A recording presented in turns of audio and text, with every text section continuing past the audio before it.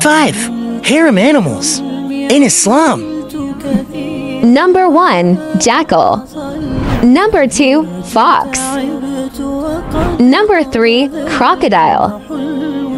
Number 4. Squirrel. Number 5. Weasel.